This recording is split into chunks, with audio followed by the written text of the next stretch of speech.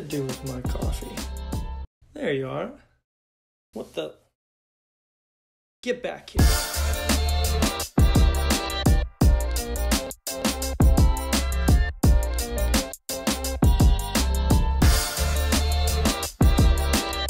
This is a French press. This is called an AeroPress. And I actually don't know what this thing is called. Let's see. Drip coffee thingy. Uh-huh. You could also buy something like this. An espresso machine. You might want to buy regular coffee, decaf coffee, or instant coffee. And your coffee can be in whole beans or ground bean.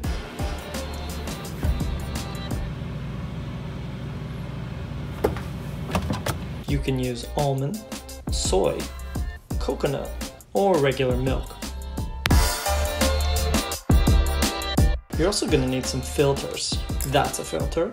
That's also a filter. And that's a filter as well, but it's kind of dirty. Turn on the machine.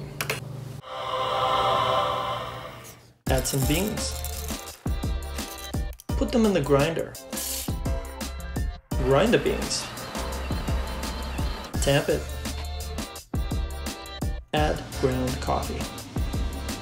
Bloom the coffee for 15 to 30 seconds. Fill with hot water.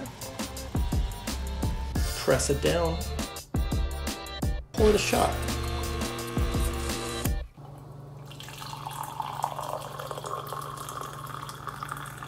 Add whatever you want. Add some sugar.